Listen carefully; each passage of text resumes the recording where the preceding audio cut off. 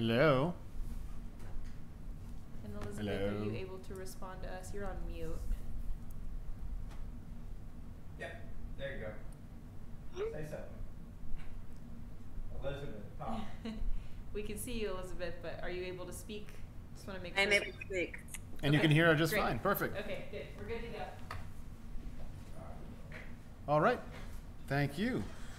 Calling to order the Tuesday, September 6th, 2022 uh, Utility Commission meeting. Uh, We'll start with roll call, and I will start on my left and then finish with Zoom.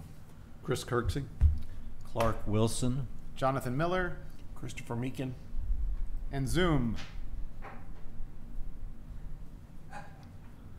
It was muted, but we'll note that. Elizabeth Gray. There you go. There we go. Thank you very much. We will open it up for public comments. I didn't see any written, but just want to confirm if there were any public comments. I'm coming up for public comment. You don't need to move anything. It's fine. Uh, Phil McDuffie, forty-seven eleven Timberline, also your illustrious liaison. Uh, so I had an agenda item. It needs to go through some clearing, but basically we will be coming back on, uh, you know, as you know, we have a bond election coming up in November. One of the big issues on the bond election is the water utility, you know, capital improvement project. That is to the tune, if the voters voted through, of $5.3 million. It will be based on a 30-year term. So the bonds go out, basically the, the voters say, yes, we're granting authority to indebt the city of Rollingwood up to five point three million dollars. Then it goes out and basically different funding organizations say, uh, I'll do that for, and whoever bids us the lowest interest rate wins, and then the funds come in. Those will be paid out from, that will add additional taxation. uh, And let me look, roughly, so as you can tell, because we don't know what the interest rate will be until the bonds are actually done, all we can do is kind of estimate. What they're estimating, if at the current interest rates, they're estimating that that would result in roughly two hundred and twenty-one dollars and sixty-three cents per year additional cost per million dollars of taxed value. That's not your, that's not what the city's, that's not what they say your house is worth, that's what you get taxed on. So some of us who have been around a long time, luckily our values have risen higher than our current taxed level, but that's per million. So we'll be coming back to basically have you guys basically be engaged in some form. We're still trying to work that out to educate our citizenry on why they might want to vote for this. Uh, there is kind of a slippery slope of how much we can suggest.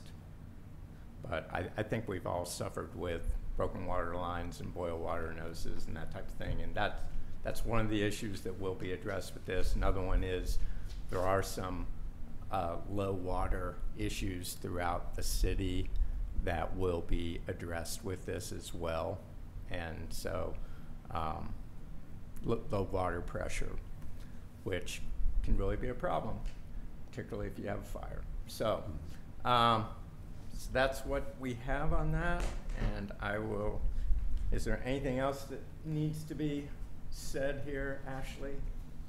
Um, I don't think so. Okay. Um, The city's bond counsel will be working on putting together all of that information that the city can share, factual information about the bond election, and then, um, we'll be sharing that with all of our boards and commissions, so we look forward to having y'all engaged on that. Yeah. Thank you. Yes, Elizabeth? Um, I don't know if this is the appropriate time, if there are any questions, or, Go for it. Yeah, Let's please. find out Um, what, so, um, I was just wondering, I, I tried to watch some of the budgeting meetings to understand, um, and there are, because of the, um, increase in tax revenues, uh, that the city of Austin and, you know, many other towns across, uh, Texas are receiving. Um, they, many of them are instituting, um, a little bit of a tax break in various methods applied depending on where you are. Um, I did not know if um, that was something that was discussed in general on the city budget because if that were to play a role in this, then communicating to residents like, hey, you know, we need to do this because um, it's super necessary, water infrastructure, Right. um, and nobody wants to be Mississippi these days. Um, but you know, you are getting a break elsewhere. Right. Well, right now, the city council is in process of setting the actual tax rate that will be applied. All that we have control over is the section that Rollingwood gets, right? The, the part that Rollingwood gets. But there have been discussions, you know, there are different rates that we are looking at, and the city council has not yet voted on what rate to apply. Uh, And therefore, I don't know how much I can say. I, I have no idea where other people stand on it. I do think there is a desire that was expressed from the mayor to at least offer, I know one of, the- one of the things we're looking at is what they call a no new, uh, no new revenue rate. I think that's what it's called. But basically, because your, your valuation has gone up, the tax rate would come down so that probably for the average house, uh, you'll be paying the same amount of tax that you did last year. Okay? And I think that it, that does have a lot of merit because what we're really doing is allowing you, our citizenry, to choose what you value. Like we're, and, we've been working hard on the budget to make sure that we're not uh, increasing the costs in general. So I, that is one of the options that we will be voting and looking at. The other one, quite frankly, is not anything significant above that. So both rates are rather low. Um, and then the citizenry get to choose of yes, and we're willing to pay extra in order to address our water infrastructure issues. Yes, we're willing to pay extra to perhaps remodel some of the facilities uh, down here at City Hall in order to get some things we want. So that is the direction that is right now moving. That will be cleared up within the next month or two. Um, but yeah, I, I think we're looking at the same thing as Austin and other municipalities, and we're being as responsible as we can possibly be with every one of your tax dollars. So, I think that's wonderful feedback. Thank you. And I also think Right. it would really help garner more enthusiasm for the capital improvements we have to do. yeah, I mean, we're, I, once again, one member, but, uh, I think there is a desire to actually let you guys decide what's important to you. So, um, and our job is to give you as much information as possible, factual information to, uh, let you make those decisions. Okay? Thank you. Yep. Great, thank you, appreciate it. Moving on to the next, next item, which is discussion and possible action on the minutes from the July twelfth, twenty twenty-two Utility Commission meeting. Minutes were provided. I move approval. We have, we have a motion and a second for approval. All in favor? Aye. Aye. All I, I missed it and I abstained. And one abstain. With that, it passes. Thank you. Moving on to the regular agenda, uh, discussion and possible action on a utility bill appeal for forty-nine twelve Rollingwood Drive.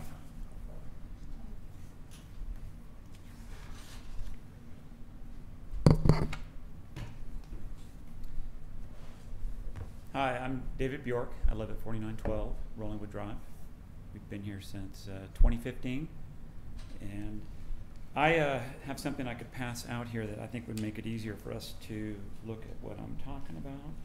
I only made five copies, so someone's not going to get one. We'll share. Okay. Yeah, that's fine. I, I don't, Then I have none. I have no power. Thank you. Thank you. Thank you.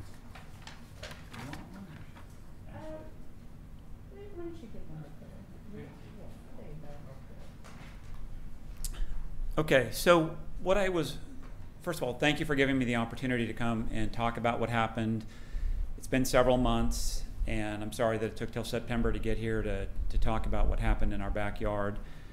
Um, I have some pictures here that will help to explain what happened, but effectively, we had a leak at the meter. I learned that it was on my side of the meter. Um, so I'm not here to dispute that there was a leak what became troubling is when I got my bill and saw that it was 132,000 gallons that had been um, the result of this leak. And it just didn't seem to add up. So um, I wanted to put together some of the facts in terms of what we experienced when the leak occurred. You know, there was no loss of water pressure in the house. Um, there was no visible appearance of a leak as a you know a runoff or the ground was wet.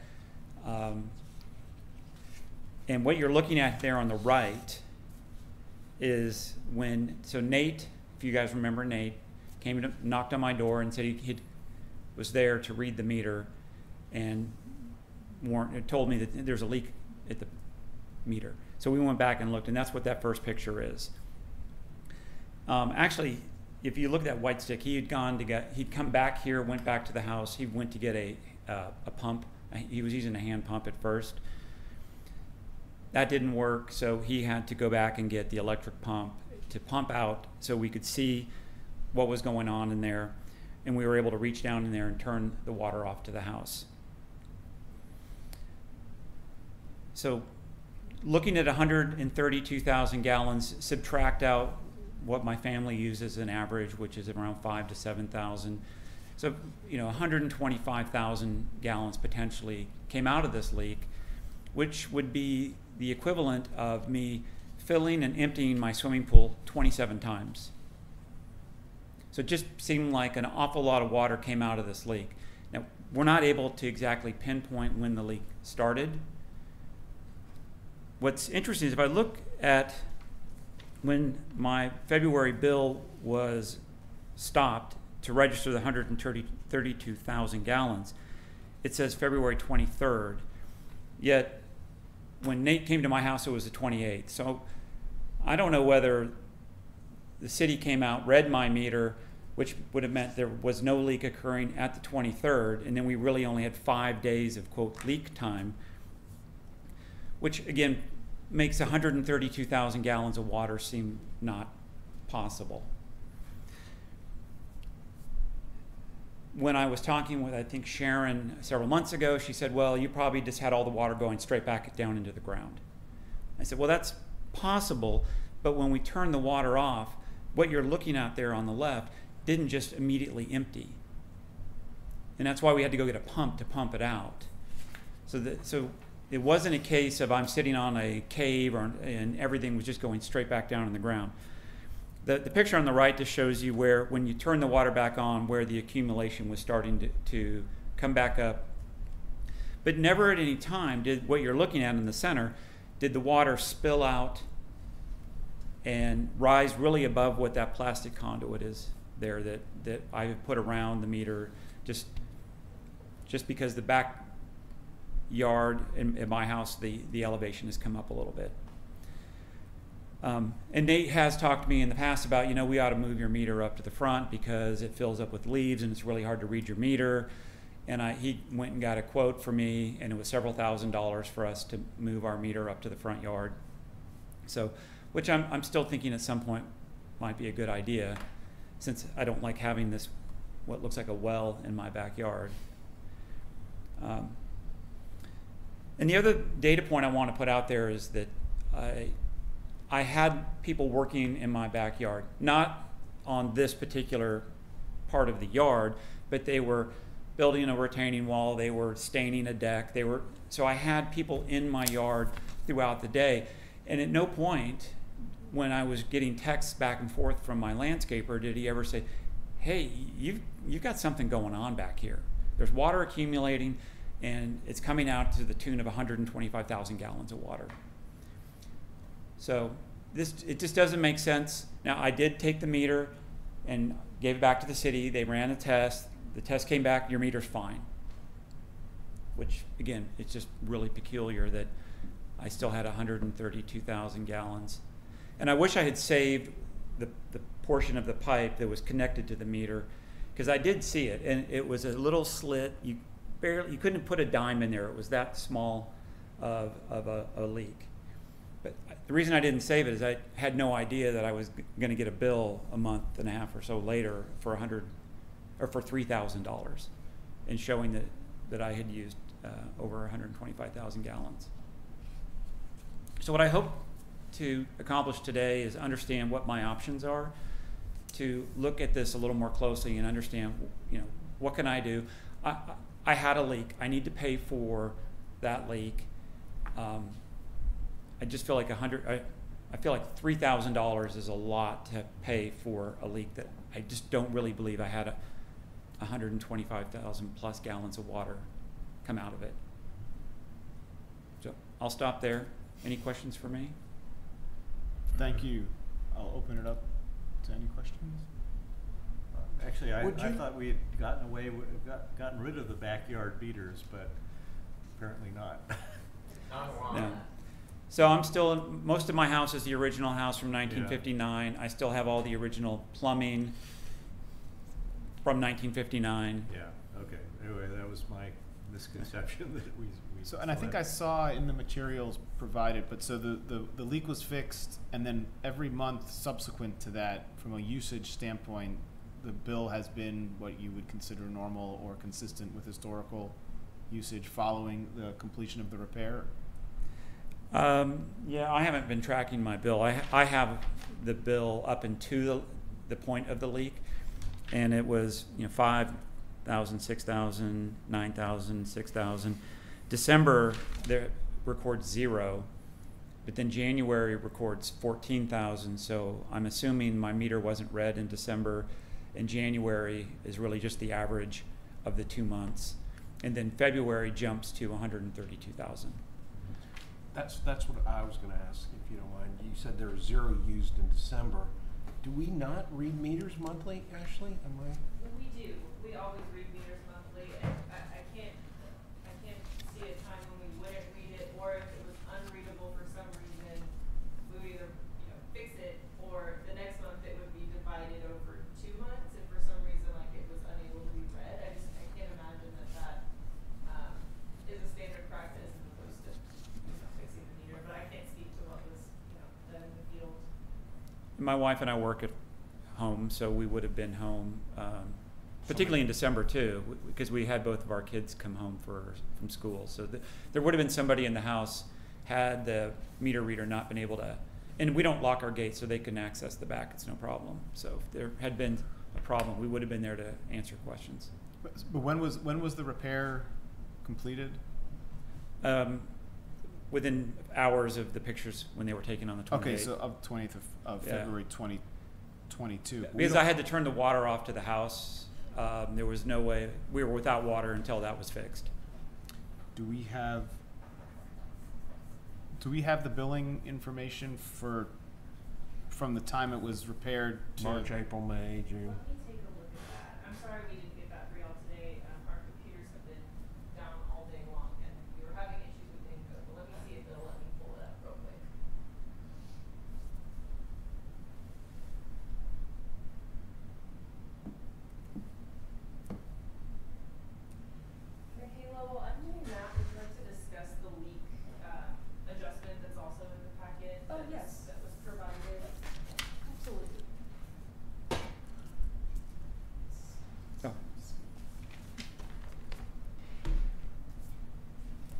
Good evening, you guys. Um, so the leak adjustment that um, is presented before you today um, was used for Mr. Bjork's uh, prior year usage for his water.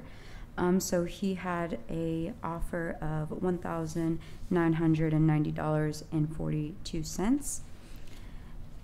And um, Is that off the bill or that, the bill? The bill. that That's the.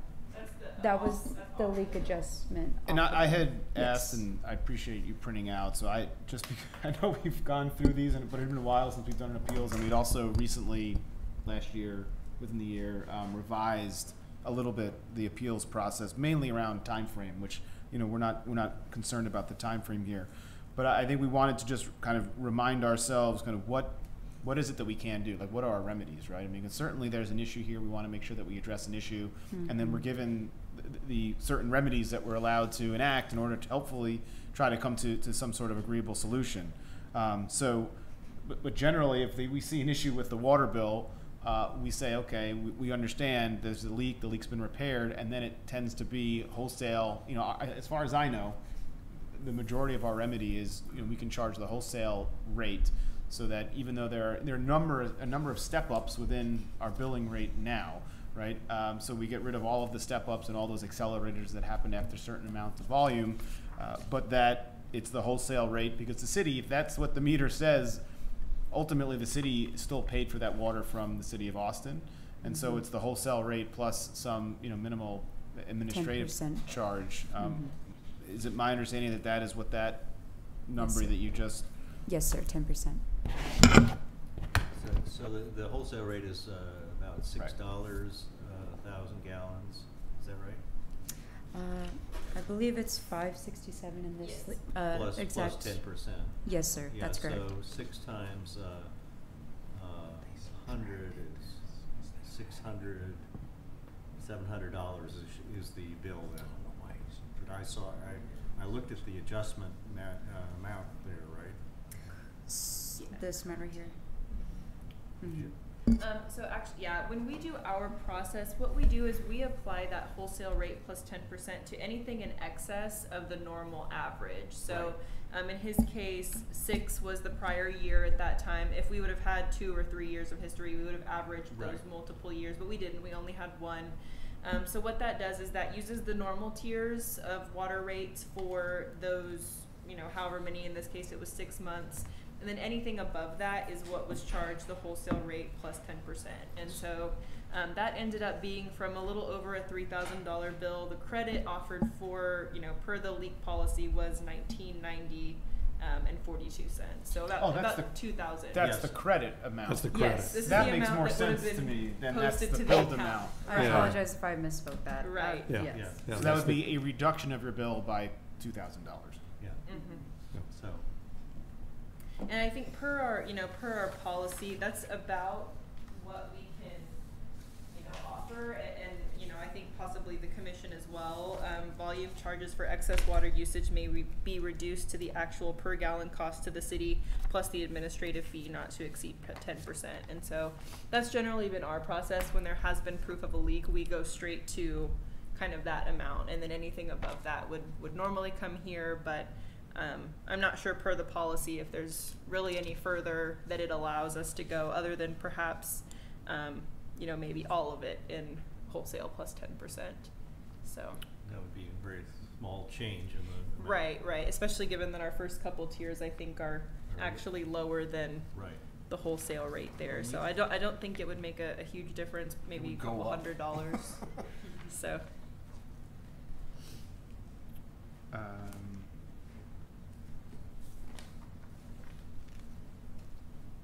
Right, so instead of three thousand and change, it's seven hundred and fourteen plus a small adjustment, right? I mean, plus the act, plus the usage.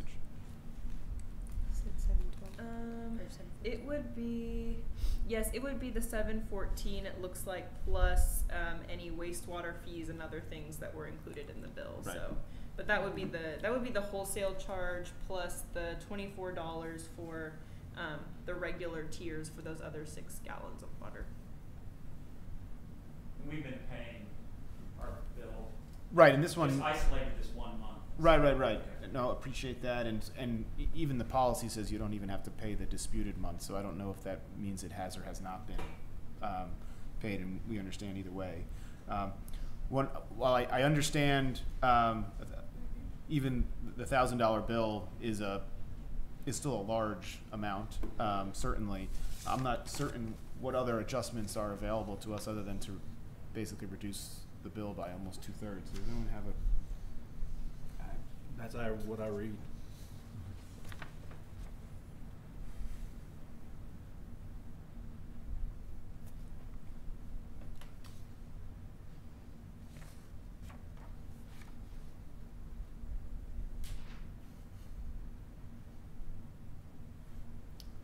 I'm just wanna make sure no one's having any. Well, I, I understand. I wasn't expecting to have the entire. No, no, it's okay, and, and, Removed, and, and I do remember Sharon doing a sort of back of the envelope calculation on wholesale water rates. I just didn't know that it ever be- had been put into a formal offer, because the, the, the bill I keep getting still reflects three thousand plus dollars that are I think that's we unpaid. just need a motion to adjust the bill according to this formula, right?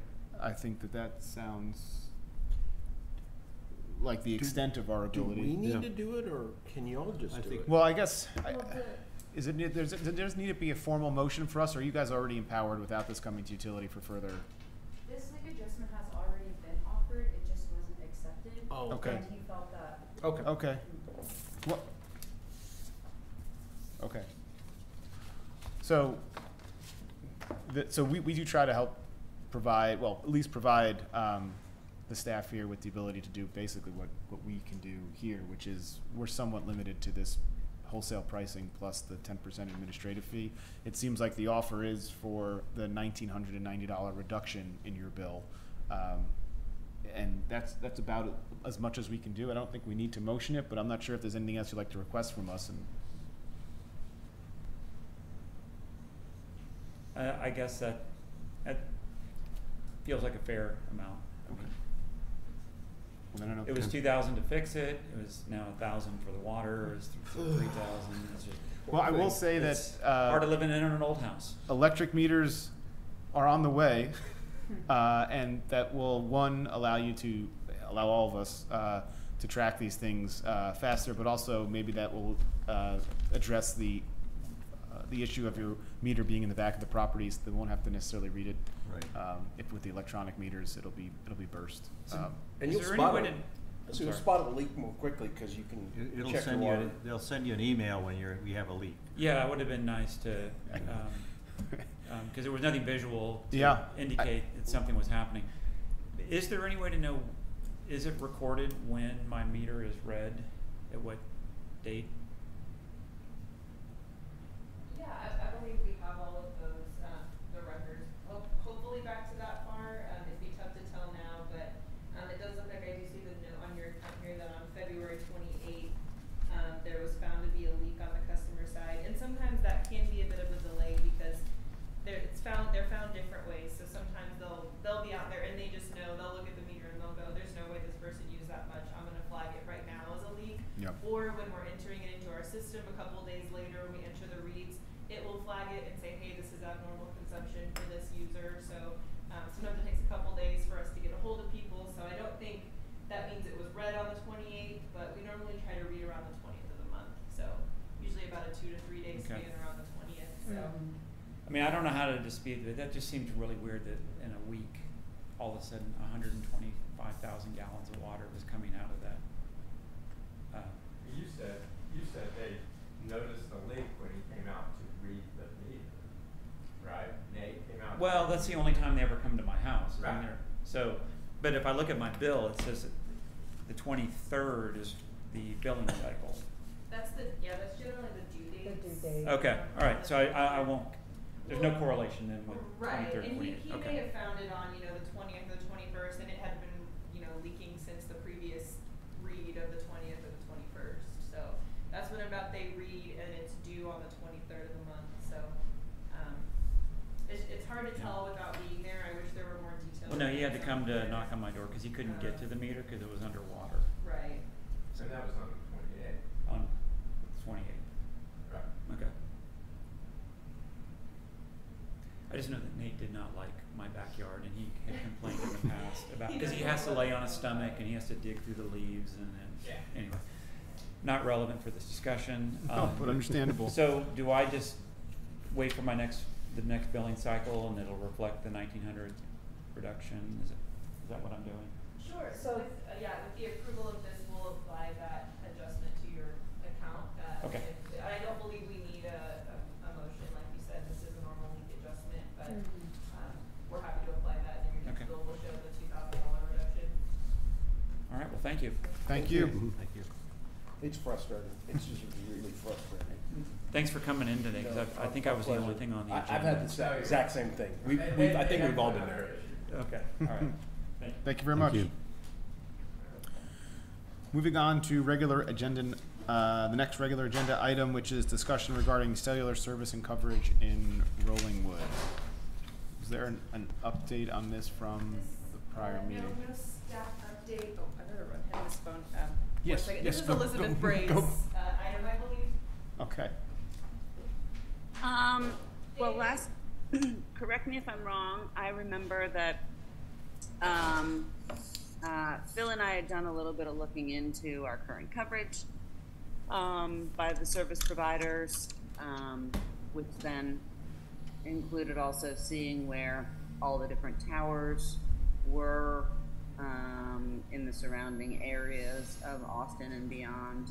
Um, we I forwarded um, an email with some pictures of that coverage and where the towers are um, to be shared, I guess, in this meeting and for a discussion uh, to be had um, on on sort of if there are if there is an appetite for next steps and what they may be. Um, this was a previous agenda item from a previous meeting, and I just volunteered to be one of the uh, data gatherers. And so, to my knowledge, that's been disseminated to everyone, and uh, and now there's. I put the item on the agenda to understand what we should be doing next. Thank you. And I'll jump in here too. Uh, so yeah, Elizabeth and I worked on this. She was able to pull up the maps that are provided by the different carriers. Uh, given that, and you have those in your packet, uh, they look like the coverage is great. Mm-hmm. We know Did you read the disclosure? Yeah. we know there's still issues. Yeah. And and you know, I've I've been frustrated. I mean, ju- just now trying to speak to Elizabeth on the cell phone, I went outside to try to get better coverage and that type of thing. So there can be issues if you have, for instance, a metal roof that w- that will interfere. So there are particular issues that may be just because of the construction and makeup of your house and you know if you're sitting in a Faraday cage I don't know but um, and I Or- think there may be issues between cellular service providers so if you're ver- you know you're T-Mobile and you're calling someone with AT&T there may be you know, some kind of a handshake issue or whatever. None of us are experts in cellular service. I certainly am not. But um, clearly, there are still issues, and a lot of it has to do with our hilly topography, uh, I think. Um, but it might also be service providers. So I don't know what that leaves us other than, you know, they're all, it almost seems like they're providing marketing material showing that they're doing a fabulous job. Um, So one of the items in the uh, uh, packet was a map of people or locations where there were amplifiers or some, I forget what they were called, Right. to in- boost the signal in businesses. Do you understand what those devices are and wh- whether we should put, put them around Rollingwood? I don't, other than I imagine those are because particular businesses probably are experiencing issues and um, therefore, you know, they, they probably put those boosters up. I would assume those may be amplifiers that are amplifying the, you know, for general service that might just not be, you know, particular to whatever business or facility is there. And I'm assuming too that probably they may even be getting some kind of, you know, revenue from the cellular providers to, mm-hmm. to, to boost those signals. I don't know. I do know at one time, the city of Rollingwood was in, in discussions with AT&T and AT&T was going to put boosters out on Bee Caves Road and, or some other places and somehow that fell through the cracks and never occurred. So the technology is always changing. Hopefully there will be technology that might be cost effective and could get rolled out, but I don't, I don't know. We could investigate that. That might be the next step to try to find out what exactly those boosters are, what exactly they're doing, if that is something that would be helpful in general. Um, Phil, I can answer that. Yeah, go for it. Yeah, I can answer a couple of those technical questions because I looked into them. Uh, first of all, the coverage maps, in and of themselves, um, if you look closely, do not say that they are actually doing a fabulous job in a lot of regards because um, it shows a great variation across Rollingwood, um, especially on I think the Verizon and T-Mobile maps, um, where it is also the difference between 4 and 5G uh, coverage from the tower, which is important because um, if your phone is a 5G phone and you have it in your settings to be reaching to 5G on towers, if you don't have that reach in the coverage of where you're living, it actually makes the reception far worse. But you can't ask people to be turning that setting on and off their phone every time they drive in and out of the streets of Rollingwood. Um, so that is a particular problem, coupled with they upgrade different towers at different times with 5G. And so if you happen to be pinging on a tower that is down, then you're going much further to try and get that signal, which you're not getting, and it makes it even worse. Um, with regards to the boosters that are on the buildings, those aren't actually, um, those are broadband boosters. And so uh, cell phone companies offer something similar to that for independent residence homes. We have tried them with both T-Mobile and Verizon in our own home to see the efficacy of them. They do not work and they only give you one per home. We actually had them give us each three. So there was one on each floor of our house. It did not help. Um, it only moderately helps when you are on Wi-Fi instead of using the cell signal. But then again, what happens when you leave your home? And it's the same thing for the businesses. It is helping support a broadband connection around those business areas. It does nothing for you when you walk down the street or drive down the street. Um, and so you can get some relief if you happen to be working from home, but not as you go about your daily life.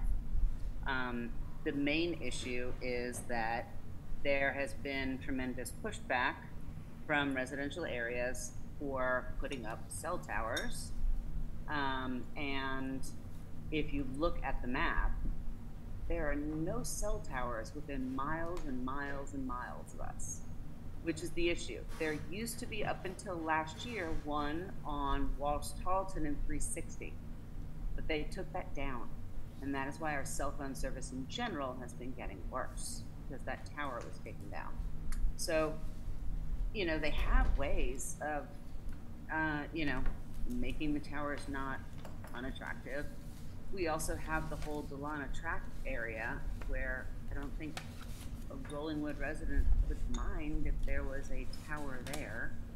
Um, I also think that uh, it would be very attractive to our partner uh, or our neighboring cities like Westlake, um, if there was a tower somewhere nearby.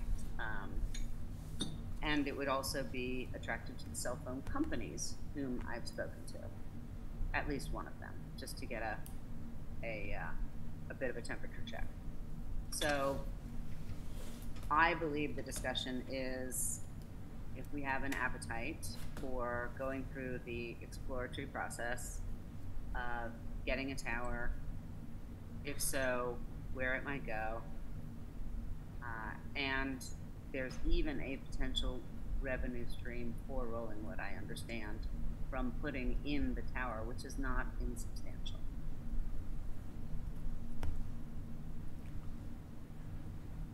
Aren't, if a tower were put in, isn't a lot of the coverage determined by line of sight, or is that not true? No, it's not line of sight, it's distance. That's a that's a bit counter to the conversation we had with AT and T, but that was a year ago. Um, but they had diagrams with towers and mountains and straight lines going through.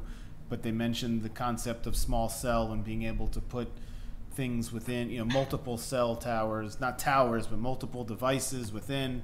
Uh, but ultimately, again, just to recall, that that call ended with them saying we went through this process with you once before, and it takes at least 24 months, and there was very little interest. We're like, hey, great. So what's the next steps? And they're like, there really aren't any. Um, at least that was that particular discussion with AT&T, which it also the challenge I felt was it's like you have to go to each carrier and be like, so does that mean it's three separate towers, or is it a single fixture, but each one would would be willing to go on it? Um, and I do agree that there's a, exploratory is exactly what it seems to continue to be. It's chipping away at trying to get information. What is it? How does no one deal with this issue anywhere? It's a problem with the cell phone. How do you get someone to come help? Um, and it seems like you call and they tell you nothing. so I'm very curious as to how we go about next steps. I think part of the process was just trying to learn from, from a from a broader residential area. How big of an issue is this you know, we have the water issue, we have other capital improvement projects. If we come back and say, hey, we're going to put a new new cell tower in Austin, let's start having calls about this and see who likes it. I'm really curious as to what the overall uh, reaction would be. Uh, certainly concerned that it would immediately be negative, which it's like we really need to have better cell phone service here, from an emergency standpoint and certainly from a personal use standpoint, um, as well as for our commercial corridor. So it seems like it would be beneficial to all of us to figure out a way to improve this particular infrastructure. Um, but again, I, I, I don't know what the, what the best steps forward are. These are, are great steps that we're taking now. So what is what does that next step look like? Well, and I think also if there was, I think the key point is that this this may be able to be done with no cost to residents. So wouldn't it be lovely if there was something that we could provide that was just a benefit? Certainly.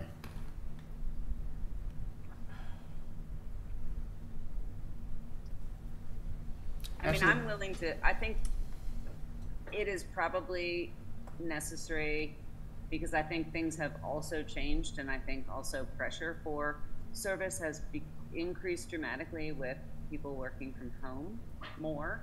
Um, and so, um, that, that pressure, I mean, will also impact the decisions that the cell phone companies make themselves.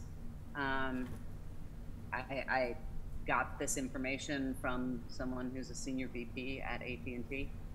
Um, and so I think maybe an idea is to reach out to at least one company, if not, you know, the big three, and maybe we get a, a volunteer for each one of those um, to see what the status is. I'm I'm happy to volunteer my time to do some of that.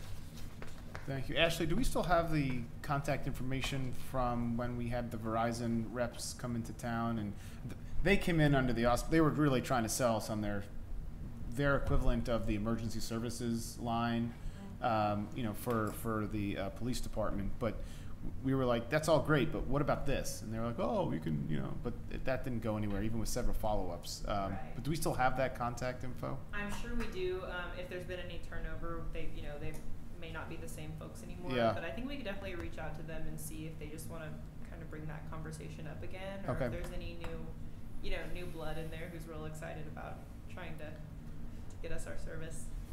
So. Elizabeth, given that you have already reached out to AT&T, would, you- would you like to take ownership of that particular pathway? Sure. And I'll work with Ashley on Verizon. And if anyone wants to reach out to anyone else, feel free. But, you know, I don't know how many folks use T-Mobile.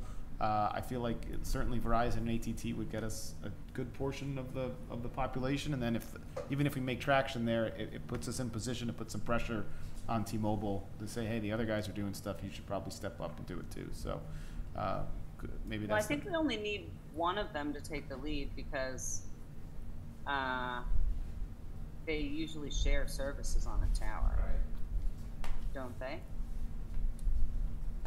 They certainly should be able to. Yeah. I don't know, when I talked to some of the different tower services, some of them said, put up a tower and then the different companies put their equipment on it.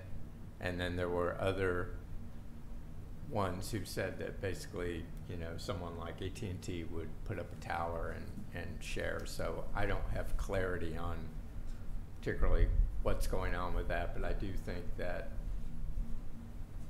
it's worth finding out, and, and the technology is changing all the time, so hopefully between AT&T and Verizon, we can start getting some, some answers on what might be possible. Um, it'd be great if it's not line of sight particularly, but, uh, and, you know, there is a higher ridge over there near Delana, but I believe probably the church or Endeavor owns that higher ridge. I think the low, the lower areas are what, you know, Yeah. is more public parkland available to Does Rollingwood and that type have, of thing. I'm, I'm sorry. Go ahead.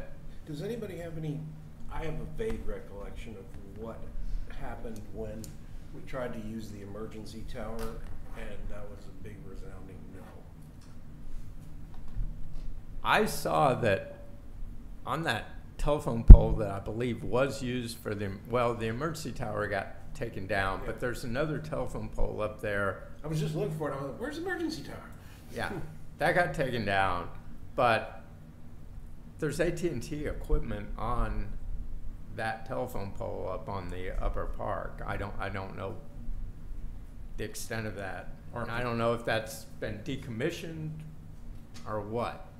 But there, but it's clearly marked AT&T and there is equipment up there at the upper park, And it's so. probably the highest point Well, that's, yeah, that's. The upper park is one of the higher points in the city of Rollingwood that would, you know, get, if there is line of sight issues, it would get that kind of reach.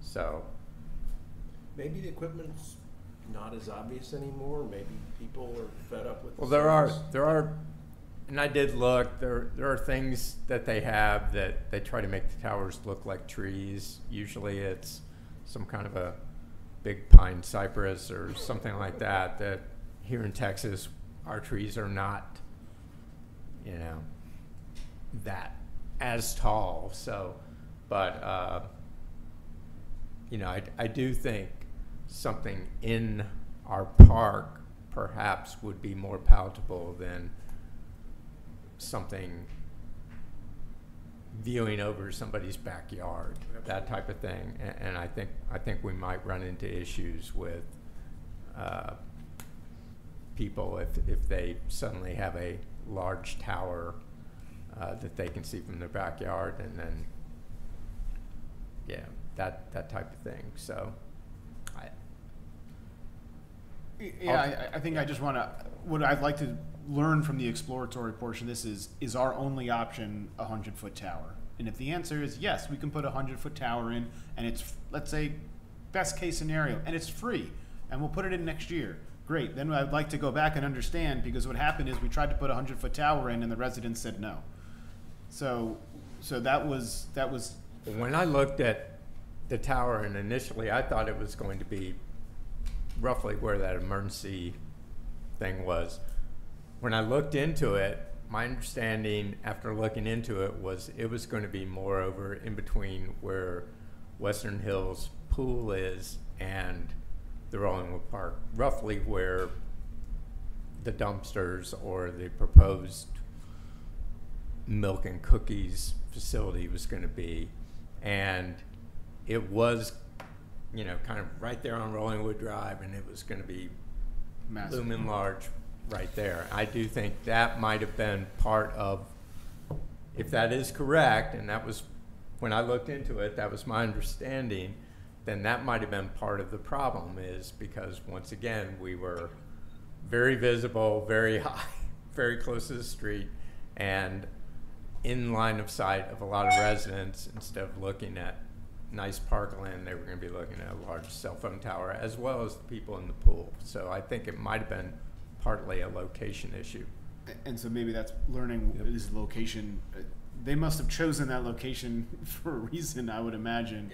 Uh, so then the question is, is it, have we gotten to the point where that location is, is variable now because of technology or what have you? So maybe we can, we can figure that out. So, um, so thank you, Elizabeth, for offering to do some more legwork on AT&T. I will work on Verizon, um, and we'll, we'll update the, the agenda when we have information on that. Any other comments on this or anything else? Then with that, I'll motion to adjourn.